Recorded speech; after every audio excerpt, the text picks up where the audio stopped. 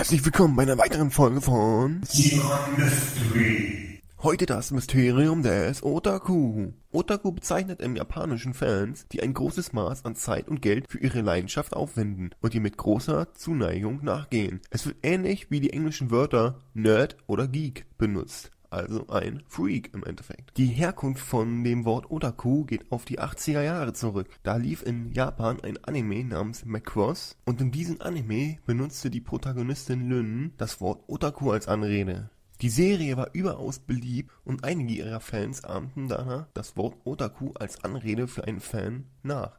Gegen Ende der 80er Jahre gab es einen Serienmörder namens Miyazaki Tsutomu, der vier Mädchen im Alter zwischen vier und sieben Jahren missbrauchte und ermordet hat. Durch diesen Fall wurde der Otaku erst so richtig bekannt und dies leider erstmal negativ, denn wie es üblich ist, wurden gleich alle Otaku abgestempelt. Das Wort Otaku war bisher schon immer negativ mit düsterer Stubenhocker bezeichnet, wurde es jetzt auch noch synonym für potenzieller Serienkiller. Wir erinnern uns, an den potenziellen Amokläufer in etwa gleiches Beispiel. Durch diesen Fall stellte die öffentliche Diskussion den Otaku lange Zeit überwiegend als negativ dar. Denn Otaku seien unfähig zu normalen zwischenmenschlichen Beziehungen. In den 90er Jahren begannen einige Autoren wie Toshio Okada oder Kazuko Nimiya dann das Otaku-Phänomen als moderne und positive Jugendkultur zu interpretieren, statt sich auf Ausnahmefälle zu konzentrieren befassten sie sich ausführlich mit den Auswirkungen der neuen Medien auf die Jugendkultur.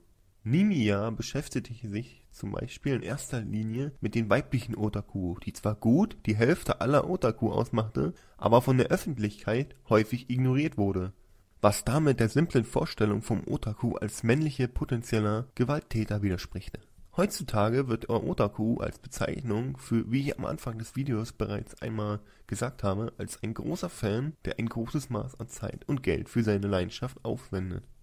Am Schluss ist noch zu sagen, dass Otaku nicht automatisch ein Manga-Fan ist. Ein Otaku kann Fan von allem sein. Es gibt zum Beispiel den PC-Otaku, den Fußball-Otaku, den Militär-Otaku, Bücher-Otaku und und und. Nur im westlichen Gebrauch wird der Otaku so gut wie immer im Sinne von Manga-Anime-Fan verwendet.